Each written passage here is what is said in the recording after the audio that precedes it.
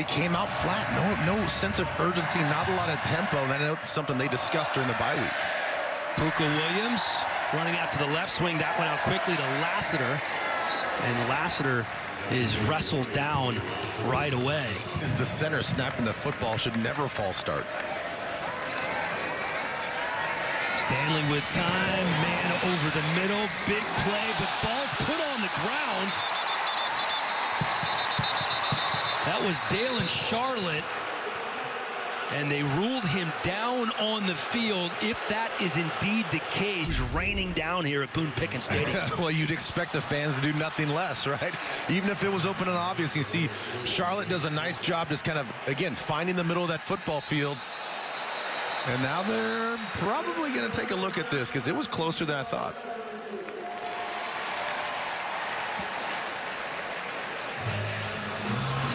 That's Rodarius Williams on the tackle. Putting enough touch and velocity on the ball as well.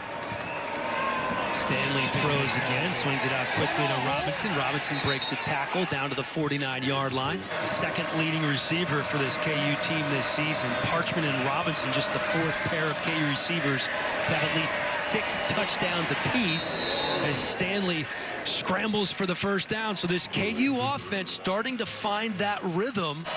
Just under eight and a half to go here in Stillwater. And Kansas with the first down situation. Stanley to the end zone. Touchdown, Jayhawks. Stephon Robinson from 14 yards out.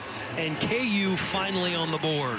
And just when I thought Carter wasn't going to throw the ball on time, he does a nice job of letting them clear. We have seen three quarterbacks play for Kansas. Carter Stanley, Thomas MacVittie, and Manny Miles. All three as this one is complete.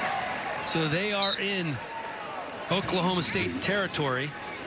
Well, we have seen this Dearmon offense put up yards in their first two games. We mentioned earlier, 500 yards per twice. This is Kwamie Lassiter breaking a tackle and getting it down to the 11-yard line. Use your defense vulnerable, but in those situations where you get home like that, usually it's an incomplete pass.